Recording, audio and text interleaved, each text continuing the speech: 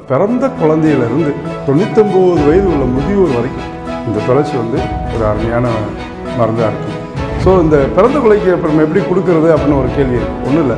ஓயாமல் நை நைன்னு அழுதுகிட்டே இருக்குங்க சின்ன குழந்தைங்க. அப்போ இந்த கிருஷ்ண துளசியை கையில் நல்லா தேய்ச்சி லைட்டாக பிறந்த குழந்தை அந்த லைட்டாக நெத்தியில் மட்டும் அப்படியே போட்டு விட்டு கொண்டு தண்ணி வச்சு பத்து நிமிஷத்தில் தூங்கிடுவாங்க. மருத்துவ குணம் உள்ள மருந்துகள் எதாக இருந்தாலுமே ஒரு நல்லது பண்ணால் கண்டிப்பாக ஒரு கெட்டது பண்ணுறதுக்குண்டான வேலைகள் அது செஞ்சுக்கிட்டு தான் இருக்கும் ஆகையால் நம்ம வந்து அளவுக்கு தகுந்தமாக எடுத்து இதை பயன்படுத்திக்கணும். அரிப்பு சம்பந்தப்பட்டவங்களுக்கு இது அருமையான ஒரு மருந்துங்க. வணக்கம் நண்பர்களே இன்று நாம் பார்க்க போவது துளசி அப்படின்ற ஒரு செடியை பற்றி நம்ம பார்க்க போகிறோம் அந்த துளசி இலை வந்து நம்மளுக்கு எந்த அளவுக்கு அது வந்து யூஸ்ஃபுல்லாக இருக்கும் அதனுடைய பயன்கள் என்ன அதனால் நம்மளுக்கு என்னென்ன நன்மைகள் கிடைக்குது துளசி சாப்பிட்றதால் நம்ம உடலுக்கு தேவையான என்னென்ன சத்துகள் இருக்குது அப்படின்றத நம்ம பார்க்குறோம். முதல்ல வந்து குப்பை இருக்கிற இடத்துல தான் அந்த துளசி வந்து வளரும்.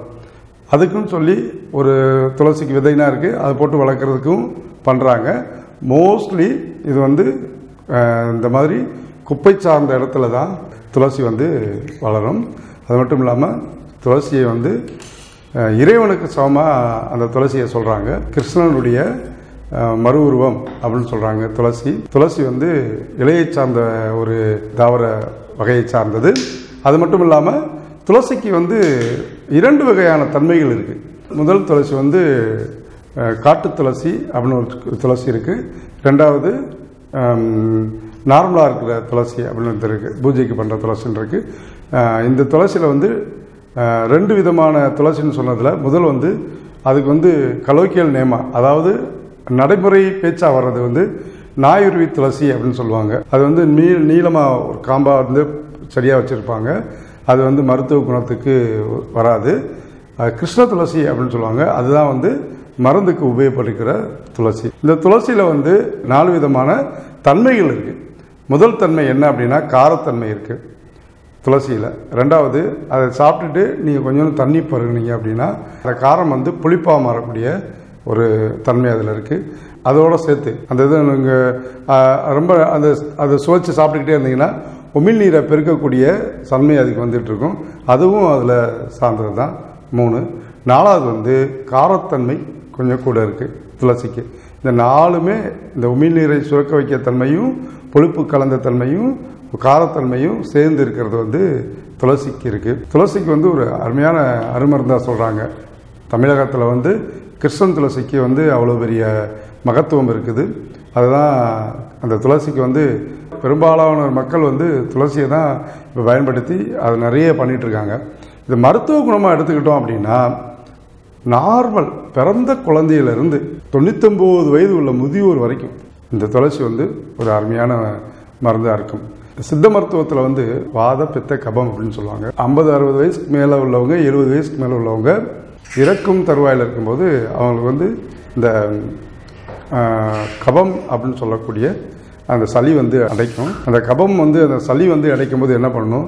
அது வந்து என்ன நீங்கள் வந்து மருந்து மாத்திரை கொடுத்தாலும் அது அந்த தொண்டை கீழே இறங்குறதுக்கு வாய்ப்புகள் கம்மி. அப்போ என்ன பண்ணுவாங்க அப்படின்னா அது வந்து விஞ்ஞான முறைக்கும் சரிப்பட்டு வரும். விஞ்ஞானத்துக்கும் அது சரிப்பட்டு வரும்.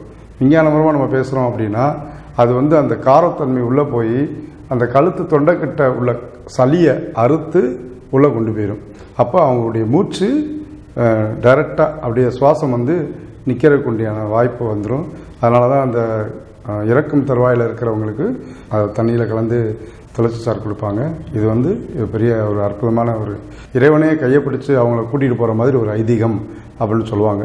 சிலவங்க பார்க்காம விட்டுட்டாங்க அப்படின்னா கூட இறந்துட்டாங்க அப்படின்னு தெரிஞ்சால் கூட கொஞ்சம் வாயில் வந்து அந்த துளசி தீர்த்தம் அப்படின்னு சொல்லுவாங்க. அந்த தீர்த்தத்தை வாயில் ஊற்றுவாங்க அப்போ என்னென்னா அதுக்கு என்ன கான்செப்ட் அப்படின்னா அவங்க வந்து இறைவன் வந்து அது அவங்க அப்படியே கையை பிடிச்சி கூட்டிகிட்டு போகிற மாதிரி ஒரு தன்மை அப்படின்னு சொல்லி சொல்லியிருக்காங்க. அது மட்டும் இல்லாமல் இந்த துளசிக்கு வந்து நாலு ரெண்டு விதமான துளசி இருக்குன்னு நான் சொல்லியிருக்கேன். இந்த மாதிரி நாயுருவி துளசி கிருஷ்ண துளசின்னு சொல்லிட்டு. இந்த கிருஷ்ண துளசிக்கு வந்து தான் மருத்துவ குணமே ரொம்ப இருக்குது இப்போ உள்ள இந்த கொரோனா பீரியடு கூட துளசியில் வந்து ஆவி பிடிச்சிருக்கு. நிறைய பேர் சொல்லியிருக்காங்க துளசியில் நான் ஆவி பிடிச்சேன் துளசி டெய்லி சாப்பிட்டேன் அப்படின்னு சொல்லிட்டு. இது வந்து மருத்துவ குணத்திலே முக்கியமானது. நார்மலாக ஒரு நாளைக்கு கொஞ்சம் ஒரு ஒரு கைப்பிடி துளசி எடுத்து டெய்லி சாப்பிட்டுட்டே போனால் இந்த வாதபித்த கபத்தில் உள்ள கபத்தை வந்து அறவே எடுத்துரும். இந்த கிருஷ்ண துளசிக்கு வந்து அவ்வளோ பெரிய மகத்துவம் இருக்குது இந்த கிருஷ்ண துளசியை அப்படி பாயிண்ட் பாயிண்ட்டாக ஒரு இதை காம்பினேஷன் மாதிரி ஏதோ சேர்த்து சேர்த்து சாப்பிட்டா இன்னும் நிறைய பலன் இருக்கும் அப்படின்றத நம்ம ஒரு இதில் வந்து பார்த்துருவோம். துளசி அப்புறம் கொஞ்சோண்டு மிளகு சேர்த்து சாப்பிட்டோம் அப்படின்னா இம்மீடியட்டாக இருக்கக்கூடிய சளி தொண்டையில் கரகரப்பு இருக்கக்கூடியதை உடனே மாறும். இதோட துளசி துளசி ஜீரகம் மிளகு மூணையும் தண்ணியில் போட்டு ஒரு ஒரு ஒரு கிளாஸ் தண்ணியை அரை கிளாஸாக வற்ற வச்சு கசாமி சாப்பிட்டோம் அப்படின்னா தும்மல் அதாவது கபத்துக்கு உண்டான என்னென்ன விஷயங்கள் இருக்கோ அது எல்லாமே இந்த கிருஷ்ண துளசி வந்து எடுத்துரும். கிருஷ்ண துளசிக்கு வந்து அவ்வளோ பெரிய மகத்துவமான ஒரு மருந்து. பிறந்த பிள்ளைகள்லேருந்து முதியோர் வரைக்கும் கொடுக்கலாம்னு சொன்னேன். ஸோ இந்த பிறந்த குலைக்கு அப்புறம் எப்படி கொடுக்கறது அப்படின்னு ஒரு கேள்வி இருக்குது ஒன்றும் இல்லை. ஓயாமல் நை நைன்னு அழுதுகிட்டே இருக்குங்க சின்ன குழந்தைங்க. அப்போ இந்த கிளச கிருஷ்ண துளசியை கையில் நல்லா தேய்ச்சி லைட்டாக பிறந்த குழந்தை அந்த லைட்டாக நெத்தியில் மட்டும் அப்படியே போட்டு விட்டு விட்டுட்டு வச்சு பத்து நிமிஷத்தில் தூங்கிடுவாங்க ஏன்னு கேட்டால் இந்த துளசி சாறு சாப்பிட்டாவே தூக்கம் நல்லா வரும். அருமையாக வரும். டெய்லி போய் தூக்கம் வருது தூக்கம் வருதுன்னு டெய்லி வந்து சாப்பிட்ருக்க முடியாது. ஏன்னா அல்சர் உண்டாக்கிறோம். அதுவும் இந்த எதுவும் எது எந்த ஒரு மருத்துவ குணமுள்ள மருந்துகள் எதாக இருந்தாலுமே ஒரு நல்லது பண்ணால் கண்டிப்பாக ஒரு கெட்டது பண்ணுறதுக்கு உண்டான வேலைகள் அது செஞ்சுக்கிட்டு தான் இருக்கும் ஆகையால் நம்ம வந்து அளவுக்கு தகுந்த மாதிரி எடுத்து இதை பயன்படுத்திக்கணும். இந்த கிருஷ்ண துளசி எப்பயுமே உங்கள் வீட்டில் ஒரு கொஞ்சோன்னு ஒரு இதை வச்சுக்கோங்க. அந்த காலத்துலலாம் வந்து ஒரு நடைமுறைக்கு என்ன பண்ணியிருப்பாங்க பின்னால் கொல்லைப்புறம் அப்படின்னு சொல்லுவாங்க. அதில் வந்து ஒரு துளசி வச்சு அதில் டெய்லி சாமி கும்பிட்டு கொஞ்சம் நேரம் எடுத்து சாப்பிட்டுட்டு போவாங்க. இது ஒரு முறை. இது இப்போ வளர்க்கவே ஆரம்பிச்சிட்டாங்க. ஆர்கானிக்கில் போட்டு துளசி வளர்க்க ஆரம்பிச்சிட்டாங்க. ஒவ்வொரு கோயில்லையும் பாத்தி போட்டு துளசிலாம் போட்டு ரொம்ப பண்ண ஆரம்பிச்சிட்டாங்க. இது எல்லாமே மருத்துவ குணமாக இருக்கிறனால தான் இது இவ்வளோ செஞ்சிட்ருக்காங்க இது போக அரிப்பு சம்பந்தப்பட்டவங்களுக்கு இது அருமையான ஒரு மருந்துங்க. துளசி வந்து அருமையான மருந்து. அதாவது விசக்கடி மாதிரி இருக்குன்னு சொல்லுவாங்க. விசக்கடின்னு சொல்லியிருக்கோம். அதுக்கு என்ன பண்ணணும் அப்படின்னா இந்த துளசியை கொஞ்சம் நல்லா எடுத்து சாறை எடுத்து அந்த சாறில் வந்து ரெண்டு விதமாக நம்ம பண்ணணும். அந்த சாறில் வந்து கொஞ்சம் மிளகு கலந்துக்கணும். மிளகு கலந்து பேஸ்ட் மாதிரி செஞ்சு அந்த அந்த தப் த- தடிப்போ பத்தோ இருக்கிற இடத்துல ஒரு நாற்பத்தெட்டு நாள் ரெகுலராக போட்டு வந்தால் பழைய ஸ்கின்னு வரும் இது உறுதி. ஏற்கனவே இதை நம்மலாம் போட்டே பார்த்துருக்கோம். ஒருத்தவங்களும் புரியாதவங்க. என்னன்னே தெரியலங்க. இது இந்த மாதிரி வந்துகிட்டே இருக்குது சார். என்ன பண்ணலாம் அப்படின்னு கேட்குறதுக்கு சும்மா ஜஸ்ட் நம்ம ஒரு சும்மா வந்தால் வரட்டும் போனால் போட்டோம். எப்படி இருக்குன்னு ட்ரையல் பண்ணிக்கலாம் அப்படின்னு சொல்கிற விதத்தில் இருந்தால் கூட இதை நம்ம செஞ்சு பார்த்து அதைத்தான் நான் இப்போ நான் உங்கள்கிட்ட சொல்கிறேன் அந்த துளசி சாறை கொஞ்சம் எடுத்து கொஞ்சம் மிளகு போட்டு நல்லா அதில் பேஸ்ட் மாதிரி நல்லா அரைச்சி அந்த சாரோட சேர்த்து அரைச்சி கையில் எங்கெங்கே கருப்பாக இருக்கோ க கழுத்துக்கிட்ட இதெல்லாம் போட்டு அதனால் அப்படி மெதுவாக அப்படி பூசி விட்டுட்டோம் அப்படின்னு வச்சுங்களேன் மறுநாள் காலையில் அந்த அரிப்புத்தன்மைலாம் கொஞ்சம் குறையும். இருந்தாலும் திருப்பி வரும். ஆனால் இது வந்து ஒரு ரெகுலராக ஒரு ஒரு நாற்பத்தெட்டு நாள் ரெகுலராக நாற்பத்தெட்டு நாளோ ஒரு ஐம்பது நாள் ரெகுலராக குளிக்கிறதுக்கு முன்னால் அப்படியே பண்ணிக்கிட்டே வந்தாங்க அப்படின்னா கண்டிப்பாக அது வந்து அந்த இடத்துல உள்ள கருப்பு தன்மையும் இதே ஒயிட் பேஜஸ் இருந்தாலும் அது மாற்றக்கூடிய தன்மை இருக்குது ஆமாம் இதோட உள்முகமாக சாப்பிட்ணும். அது மருத்துவத்தை கேட்டு தான் நீங்கள் பண்ணணும். விட் விட்டமின் சி கம்மியாக இருந்தாலும் சரி இல்லாட்டி ரத்தத்துக்கு தேவையான சரியான புரோதம் போகாட்டியும் கூட ஸ்கின் டிசீஸ் வர்றதுக்கு நிறைய வாய்ப்பு இருக்குது அது அது ஒரு தனி ட்ராக் இப்போ நம்ம இதை பார்க்குறது வந்து இது வந்து துளசி என்ன பண்ணும் அப்படின்றதுக்காண்டி சொன்னேன்.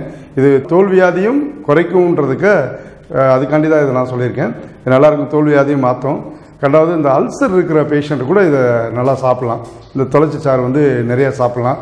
இது ஒரு காம்பினேஷனாக சாப்பிடணும். ஒருத்தவங்க விடாத இருமல் இருக்குது டாக்டர்கிட்ட போக பயமாக இருக்குது டாக்டர் போனால் ஊசி கீசியாக போடுறாங்க இந்த மாதிரி இருக்குது அப்படின்னா இந்த துளசியை வந்து கொஞ்சம் நல்லா மெண்டு சாறு எடுத்து முழுங்கிட்டு அரை கிளாஸ் சுடு தண்ணி சாப்பிட்டாங்கன்னா நல்லா தூங்கிடுவாங்க ஏன்னா விக்கல் வராமல் பார்த்துக்கணும். இந்த துளசி வந்து சாப்பிடும்போது இந்த காரத்தன்மை நம்ம த்ரோட்டில் பட்டு விக்கல் வராமல் பார்த்துக்கணும். ஏன்னா அந்த விக்கல் வந்து குறையிறதுக்கு லேட் ஆகும். இப்போ அது அவங்களுக்கு வந்து வயிறு வலிக்கும் விக்கி விக்கி.